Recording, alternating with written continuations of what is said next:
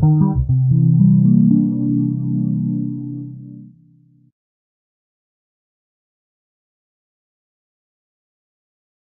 suggested I'm going to be sort of um, moving away a bit from my degree work, but I'm still going to be sort of thinking about what I've always often thought of, which is um, cross-domain parallels. So that the idea that we can learn something about a particular phenomenon by looking at the behavior of a related phenomenon in a different domain.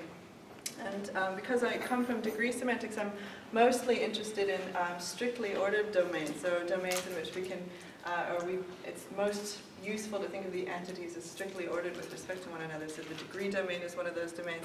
The temporal domain is another one of those domains.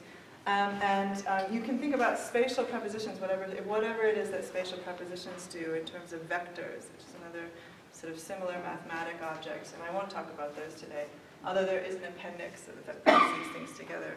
Um, uh, my work today is, is, is uh, a work in progress, so I just want you to keep that in mind. What I'm going to do is sort of present to you a cross-domain perspective on a very popular topic these days, um, and use a cross-linguistic survey to sort of see about the extent to which um, we can draw conclusions about the behavior of before and after from what we know about the behavior of degree constructions.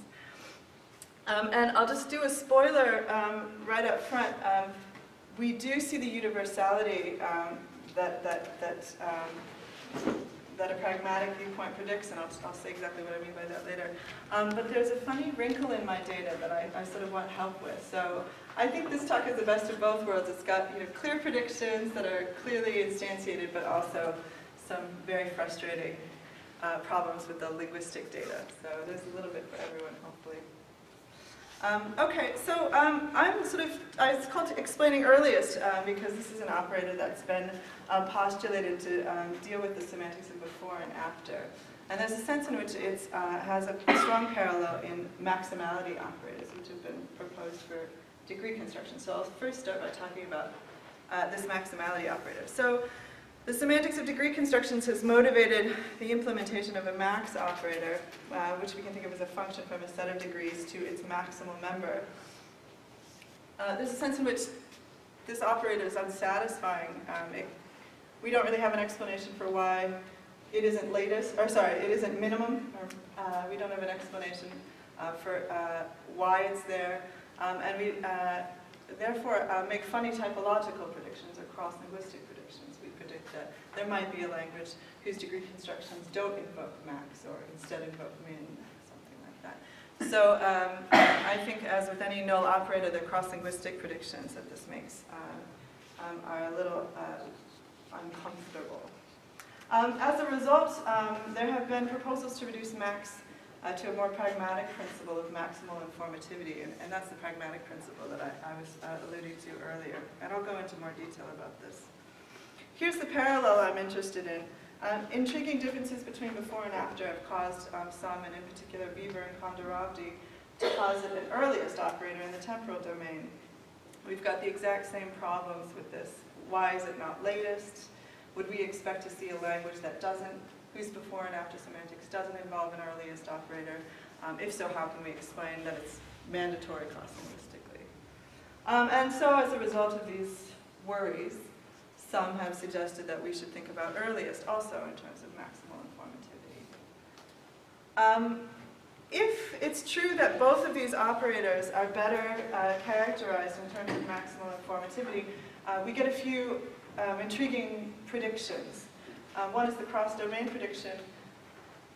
If there's a general compulsion to maximize informativity, and if we define this in terms of uh, the maximal element of an interval or scale, then we'd expect to see the effect across all strictly ordered domains. Um, so that's the cross-domain prediction. And then the universality prediction, as I've alluded to, uh, if we thought that the, the, effects of maximality are earliest were in fact the result of a more pragmatic principle, we'd expect to see it cross-linguistically, its effects cross-linguistically. So it's really those two predictions that I want to focus on today, um, but um, you'll see this, it's very easy to get bogged down in the details, so I just want to make sure that that's the, the bigger picture and that. Um, so um, I'm not the first to think about this. Um, you know, Condoravdi, in, in talking about before and after, um, uh, was probing this cross-domain prediction. Um, and I've done it in other work um, that included spatial prepositions as well. Um, so um, today I'm going to present this cross-linguistic survey. It's sort of near the end. I'm going to motivate these operators a little better for you. And as I suggested, I'll show that there's a lot of reason to think that there's a maximal, ma there's a universal maximal uniformity principle at work. Um, but there's something really tricky about the details of these languages that um, make it um, uh, yeah, a tricky conclusion to come to. So I'll just start in section one on the top of page two, give you a background of this maximality operator, just in case you're not aware. So um, we've got in three and four uh, some degree constructions that have uh, prompted the uh, formulation or positing of a maximality operator. Um, the Lucinda examples in three um, uh, uh, sorry, uh, just of the ungrammaticality of negative comparatives and um, how many degree questions in four. Um, we conceptualize the scale of degrees, or let's say, for instance, if we're mapping those um, as unidirectional, strictly ordered, ranging from low to high, um, and that allows us to characterize it as an interval, and I'll go into more details about that in a second. So um, for this perspective, um, an informativity ordering on intervals um, can be conceived of as a maximality operator, and I've given Rullmann's original maximality operator in five. So um, there's a few concerns with this, um, and they came out really right away. Um, uh, the absolute formation, formulation in five doesn't generalize well to negative antonyms. So um, there's a sort of disconnect there uh, when you switch from you know, faster to slower or many to few in terms of what, what constitutes the maximal informativity versus what constitutes the maximum. Um, and it doesn't generalize well to uh, upward monotonic questions, so um, the counterpart to four. so if we posit a maximality operator to explain why the degree question in four prompts the maximal degree, uh, we want something to explain why we don't get a prompt for the maximal degree in an upward monotonic sentence like six how much money can a graduate student live on? As a result of these concerns, um, a number of people have called for um, the reformulation of uh, the maximality operator, like the one you see in five, in terms of maximal informativity. This has ordering sensitivity built into it, um, and um, it allows us to sort of talk about things in a more pragmatic way if we so choose to um, and there's additional evidence that this is the best way to go, and there's been some recent work um, hashing this out semantically or pragmatically accordingly. Um, I'm happy to take questions as we go, so please let me know if anything's unclear. All right, so um, let's talk about earliest then. Um, so just some technical preliminaries. Um, I'm going to use the terms main clause and embedded clause to talk about the arguments of before and after. Um, I'm also going to assume uh, that um, the two arguments of before and after at some level denote eventualities that can be mapped to their temporal extension or their runtimes via a homomorphism. Um, and that we can represent the, one, the runtimes of events um, using a set of times, which, because we assume they're strictly ordered, we can uh, represent uh, even more conveniently as intervals. Um, and it's going to become relevant here, uh, the difference between closed and open intervals. And I've illustrated that in seven. I think I've got a definition in the appendix. But essentially, um, natural language sort of uses both sorts of intervals. Um, and in fact, they also, it also uses partially closed intervals. 7a um, is a good illustration of a closed interval. I've illustrated it um, on the right there using closed brackets. Jane studied from 6 to 8. This is a closed interval because uh, the endpoints are included in the extension of the event or the runtime of the event. Jane studied from after 6 to before 8. I've illustrated this with round um, parentheses. Um, and that's a way of indicating that the endpoints, despite the fact that they define the interval, are not themselves included in the extension of the event or the runtime. Um, and that distinction is going to become important um, as things get more and more confusing. So at the top of page three, I just wanted to sort of tell you about the history of the semantics of before and after. Um, it started with a really phenomenal paper in 1964 by Elizabeth Anscombe, um, who was, uh, as far as I know, the first to recognize that before and after are not duals, strictly speaking. There are a number of semantic asymmetries between the two that have puzzled those interested in the semantics of these constructions. So she focused uh, primarily on the fact that um, before but not after is associated with a transitive and anti-symmetric relation. I'm going to sort of um, not focus on those asymmetries um, in part because I think they fall out from the other ones. Um, but I'll, I'll focus on, on two other observations that were made um, um, after Anscombe that linguists have been more, more focused on. So an additional asymmetry after but not before is veridical, which, uh, uh, by which I mean it entails the truth of its internal argument. So the data in 8 illustrate this.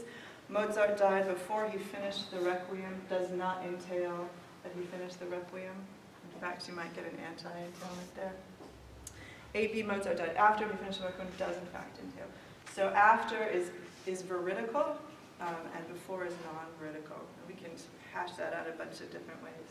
Uh, but that's what I'll refer to as the veridicality asymmetry. And then another asymmetry uh, illustrated in 9 is that before but not after licenses NPIs. And you might not be surprised to hear that this is one of the most intriguing asymmetries to the linguists. um, so um, Anscombe's um, original analysis um, actually accounts for all of these facts. Um, and you'll see that original analysis in 10. Uh, the main difference, as you see, is that before encodes in part a universal quantifier, where um, after encodes two existential quantifiers. And as Anscombe herself shows, that this accounts for, uh, for the transitivity and anti-symmetry asymmetries. Um, but as Beaver and Condoravdi show, it also accounts for the veridicality and NPI asymmetries. Um, I'm not going to sort of walk you through that because I'll be walking you through that for, for Beaver and Condoravdi's proposal. Um, but Beaver and Condoravdi never, nevertheless had some issues um, with Anscombe's analysis. They claimed that it didn't uh, get the correct truth conditions for these before and after sentences, which, you know, from my perspective, is really the top priority. um, and so there were uh, two, at least two sentences that they gave to illustrate this. Um, I'm not so happy about the first argument. Um, I like the second argument a lot better. You'll see that there are still other truth conditional problems with this analysis, the ones that didn't come up directly in Condoravdi.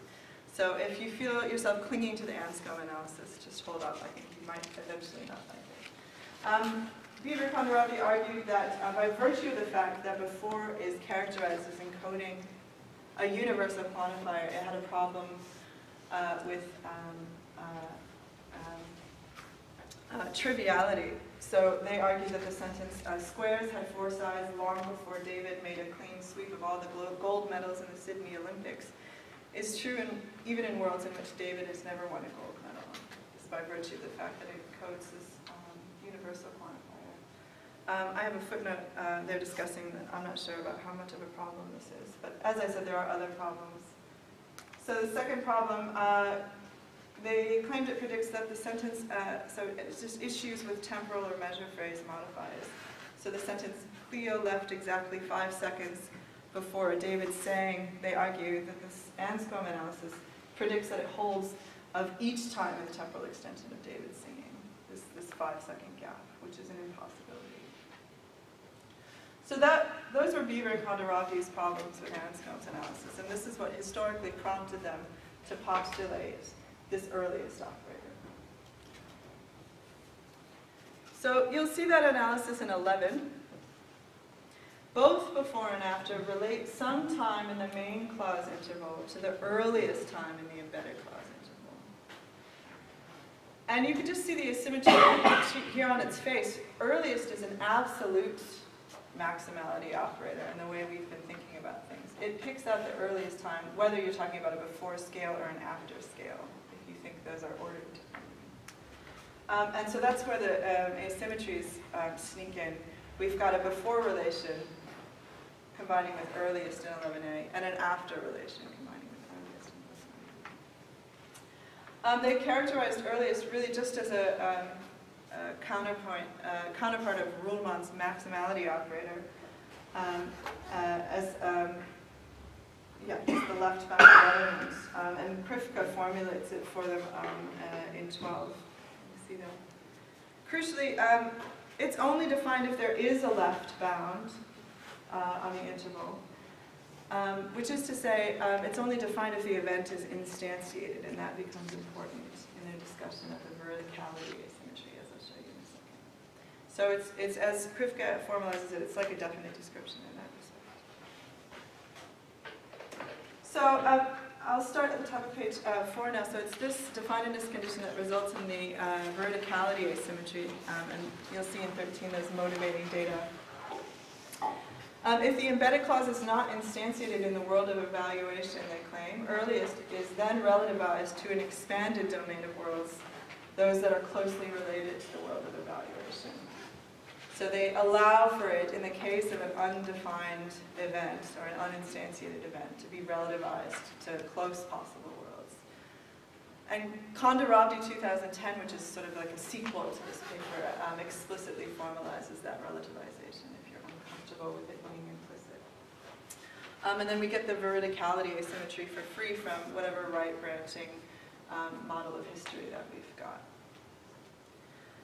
Um, and the NPI asymmetry uh, follows just as it does in Anscombe's analysis. It just predicts that before creates a downward entailing environment in its embedded clause, where after doesn't. Is, so what I hope to have just done is explain to you what a maximality operator is and why we've chosen to use it, and also what an earliest operator is and why we've chosen to use it. Um, before I go on to talk about um, whether we can characterize both of these things instead as a maximal informativity operator, I have to raise a few sort of empirical hiccups with the account that we're currently working with, namely the earliest account. And those hiccups will stay with us, as you see. Um, and they make, they make the data a lot messier than, than you'd expect. So um, it's probably an unfair characterization, but um, I, I feel like both, um, both of these um, guys, you know, Anscombe and Beaver and Condoravdi, focus so much on the veridicality and NPI asymmetries, uh, they lost sight of the truth conditions in an important way. So um, there's a few ways in which before and after are Aktionsart sensitive, which, which I'm taking to mean, or I'm using to mean sensitive to the um, Aktionsart class of, in particular, the embedded clause, but it's not necessarily just the embedded clause. I'm actually going to start um, by talking about 15, so this is the, the, the, way in which before is Aktionsart sensitive, because the problem, the, uh, the way in which after is Aktionsart sensitive is actually less problematic for me, and I don't want to distract you with that. Um, but we can talk about after um, whenever you'd like. So let's, let's look at 15 first. In 15a, I got before with an embedded state, and that behaves exactly as you'd expect with the earliest analysis that you saw in 11.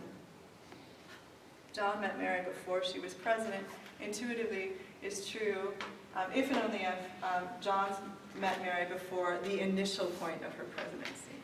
So that's the earliest point. Great. Um, but that's not how 15b is interpreted. John met Mary before she climbed to the top of the mountain and embedded accomplishment is actually interpreted with respect to the final or latest point of the, uh, uh, of the interval. So we interpret that as meaning, as compatible, sorry, with John and Mary meeting halfway up the mountain.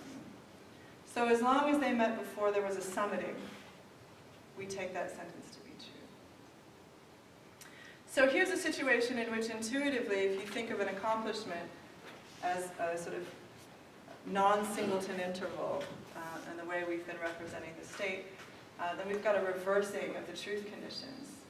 Whereas 15a relates the matrix event time to the initial point of the embedded event time, 15b relates the initial, uh, the, sorry, the matrix event time to the um, final point of the embedded clause. Um, and this is a big problem, um, but it's not one that Beaver and Condoravdi were unaware of. It, it was um, written about extensively in Heinämäki's 1974 dissertation. So Beaver and Condoravdi did account for it, um, and you'll see a bunch of different approaches to these, this sort of wrinkle at the top of page 5. So Beaver and Condoravdi in their initial proposal treated this difference that you saw in 15 by arguing that it's wrong to assume that accomplishments are mapped to a full interval runtime. There's something about accomplishments and maybe the salience of the telos, or their endpoint, um, that um, means that they're only mapped to singleton points. representing their final point. So if you're dealing with an accomplishment, there's only one relevant runtime, and it happens to be the telos. So the distinction between the initial point and the final point comes out in the wash. That's the Beaver and Condoravdi treatment of 15.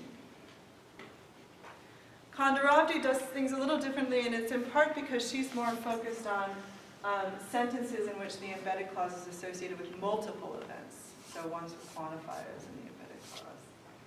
So she um, redefines earliest in a much more complicated way to involve two different sort of sorts of operations. Um, one sort of gathers um, all of the right bound or the latest points in the relevant accomplishments um, and that's ITOP. And then the other one takes the earliest of those sort of multi-leveled approach. Um, and in previous work that we may or may not have time to talk about later, um, I've uh, tried to propose a general pragmatic version that analyzes um, accomplishments as partially closed intervals with the initial point and the um, end point like this and then define maximal informativity to only care about closed bounds. That's another way you can do this. Okay, so I'm at the interim summary in the middle of page five. We've got an earliest analysis that successfully accounts for um, the veridicality asymmetry that we saw, the NPI asymmetry we saw, and with some tweaking, you've got at least three tweaks to choose from the, the truth conditions of before and um, so back to the original sort of broad agenda, we want to see if we can assimilate, sorry, if we can explain all of these semantic effects by appealing to a more general, possibly pragmatic maximal informativity principle as opposed to encoding it semantically in a null operator. And that's where our cross-linguistic and cross-domain predictions come in. Focus on the cross-linguistic predictions. So, if it were true that before and after encoded this null earliest operator, we would predict that it's possible that not all languages display these semantic properties that we've seen. So that's the universality prediction. But because it solves all of these, or addresses or accounts for all of these asymmetries in one fell swoop, we also expect that these properties are correlated. So if we see a language that demonstrates one of them, modular independent explanations, we expect it to demonstrate the others. So we expect the truth conditions to be tied to the NPI asymmetry to be tied to the veridicality asymmetry. Modulo some independent. So that's the thing that I set out to test with this, um. Everyone clear? I should say that the survey especially is joint work with Daniel Altshuler. I don't want to drag his name into this too far though because a, a lot of this thinking has been outside of uh, consultation with him. So at the very least he's he's helped me formulate some of these questions and, and do the survey. Um, all right, so um, we consulted native speakers of 17 languages from seven different language families, and I'm starting at the top of page six now. Uh, we consulted um, graduate students in linguistics. Um, so we, we really wanted, uh, these are very subtle judgments, we really wanted to make sure um, that uh, that these people were trying to think seriously about linguistic intuitions. They were um, fluent in English as well as uh, their native language. And the survey was done at least initially over email, um, and then we did follow-ups on the languages we were sort of most, shall we say, intrigued by, um, and, either over email or in person, as case may be.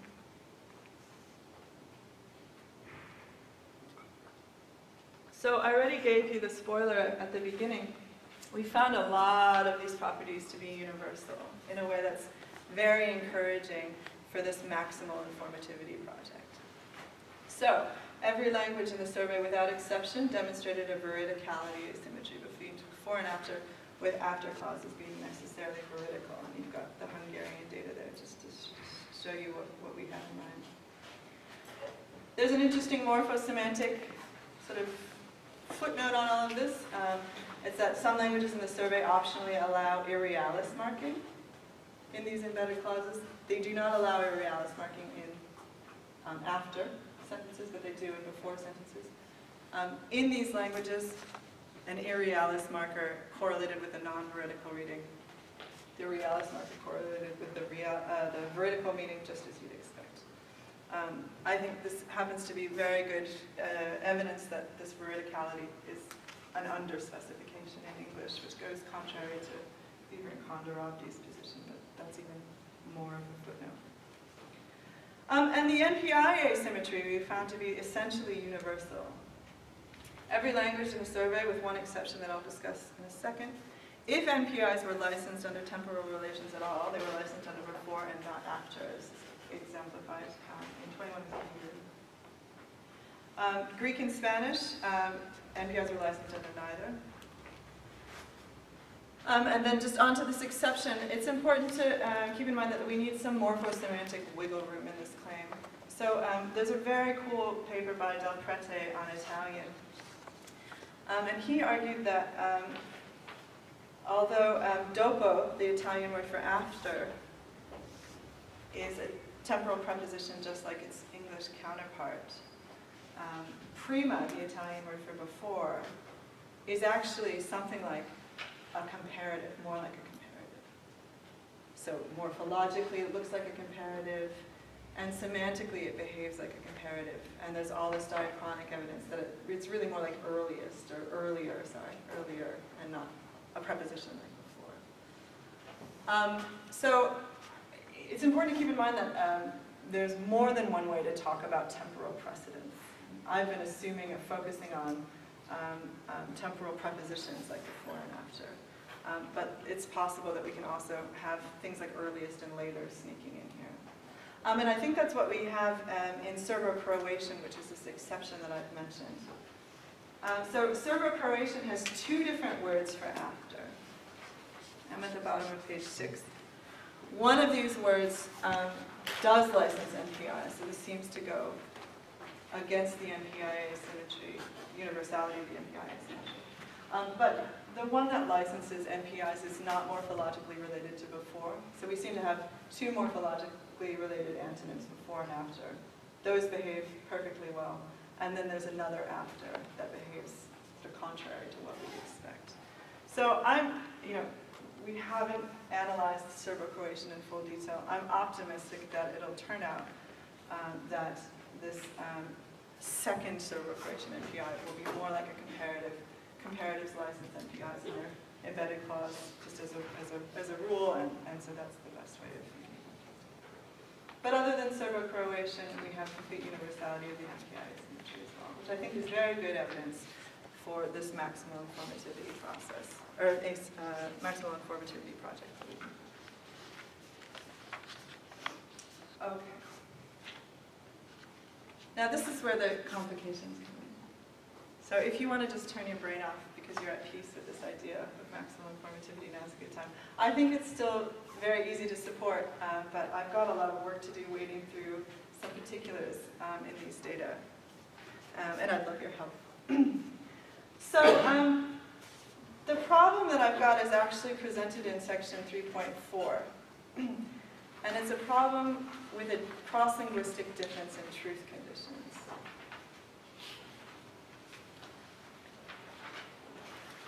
I think it would be the case, if I had seen these data and these differences in truth conditions, I would have written it off as badly collected data. But it turns out that the difference in truth conditions that I got um, was correlated with a different difference that I got, one that seems a little more morphosyntactic. And that makes it a much more serious difference in my mind. So I hope you're following the narrative, the, the, the, the narrative. Um, what I'm first going to do is show you this sort of different morphosyntactic difference that I saw, which is also an interesting consideration for the syntax and semantics of before and after. And then I'm going to show you what I'm really genuinely worried about, which is a difference in truth, a cross-linguistic difference in truth conditions. I hope that's clear. So first, just talking about the syntactic distribution of this morphosyntactic distribution. Um, we found a three-way, crucially not four-way, typology among our languages with respect to whether these languages were able to embed statives under before and after. So um, English qualifies as a type 1 language because in English both before and after embed statives.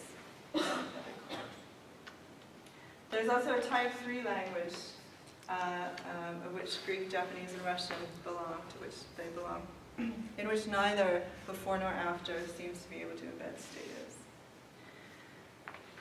We also found a type 2 language, uh, which we called stative asymmetrical, in which before embeds statives but after doesn't. Crucially, we found no fourth type where we have the different, the reverse asymmetry. So I think that's interesting enough for um, um, um, a theory of before and after, although it may or may not have something to do specifically with before and after. Um, Estonian is a type 1 language, just like English, exemplified in 22. Um, the criteria we used um, to classify these languages are um, uh, right below 22. We wanted to make sure that both sentences um, were reported to be equally acceptable and that both sentences were reported to be interpretable. Um, Russian is exemplified in uh, a type is exemplifying a type 3 language there in 23. Both sentences were reported to be equally unacceptable. No truth conditions uh, were able to be given. Um, many of our um, consultants reported that these sentences would be acceptable with an encoded predicate in place of the stated one, which is one of the things that sort of suggests to me that this is maybe a, a morphosemantic or a morphosyntactic issue that's possibly independent of before and after. Um, and then we got a few type 2 languages exemplified um, by Dutch and Hungarian in, in 24 and 25. so these are sentences in which the uh, languages in which the before sentences were reported to be grammatical and interpretable, um, but the after sentences were characterized as degraded or confusing without an encoded predicate or an adverb, something like already or still. And as I mentioned, I think it's notable that there is no fourth type of language, at least uh, as we saw. So again, I, I, find this interesting. I find it potentially independent of the semantics of before and after. I have no idea what to do with it. But the reason why I'm presenting it to you right now is that it appears to be correlated with a problem that I'm much more concerned with or much more interested in for the semantics of before and after. So um, section 3.4, just a reminder, um, I haven't talked to you about the Aktionsart sensitivity of after. Uh, but we did talk about the Aktionsart sensitivity of before, in particular, when before embeds accomplishments in English, uh, the accomplishment is interpreted with respect to its final point or its end point. But if it encode, uh, embeds other eventualities, um, that sentence is interpreted with respect to the initial point of the embedded. Um, I've found evidence that um, language is different before, in how they interpret these before and accomplishment sentences. We found no other variation in truth conditions, so no variation with the semantics of after sentences, no variation with respect semantics of before and statives or anything like that. So um, there are some languages that interpret before and accomplishment sentences with respect to the initial point and not the final point. And the thing that I think makes this particularly challenging is that these languages are all and only the type 2 languages in that typology that I mentioned before, for reasons that are mystify me. Um, and so you'll see in table 1 um, the data that we found. Um, sort of, yeah. Uh, so English is a type 1 language. Um, uh, this is just the semantics of before, so that we interpret uh, before plus accomplishments with respect to the final point. Type 2 languages is always with respect to the initial. Um, so I've got some more type 1 languages at the bottom of page 8, and at the top of page 9 you can see some of these type 2 languages. Um, inevitably we will start talking about what these data looked like, and I, I, regret that I don't have all of the type 2 data on the handout for you to scrutinize. Um, I'll tell you what I did. I, I, I, asked, so we, we asked for two different sentences, climb to the top and paint the house.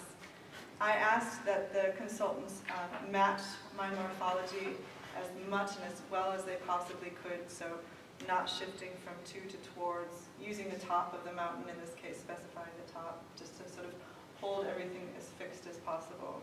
I asked them to keep, you know, um, adverbs out of it, uh, and, and, so forth and so on. So I did my best um, in that, from that perspective to try and control for um, morphological um, differences across these languages, but I may not have done a good enough job, admittedly. Um, it's possible that the context in 31 is too confusing, um, but I thought that this might be a good illustration of the difference in meaning. So the context is right before John starts a climb, he puts on a very silly hat. So this sort of, once you see the silly hat, you know that you've passed the initial point. So the question um, that I gave my consultants is whether or not it was felicitous in that context to say one of these continuations. Thank goodness that Mary met John before he climbed to the top of the mountain. Because if she had met him while he was wearing the hat, she never would have been able to take him seriously. That should sound funny in English, although maybe convoluted, because our sentence in English does not entail that she did not see him wearing the hat. So the English version of the sentence is compatible with her having met him while he was wearing the hat. Because the English sentence only requires that they have met before the summiting, not before the hat wearing. I wonder if it would be helpful if I repeated that. Okay. Maybe I'll draw a mountain.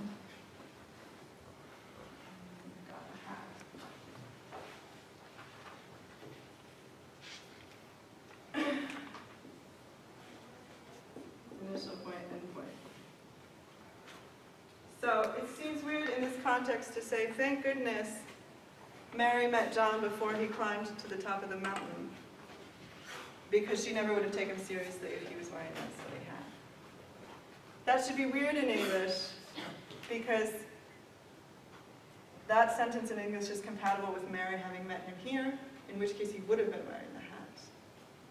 So it would be weird to say, thanks goodness she didn't meet him while he was wearing that hat.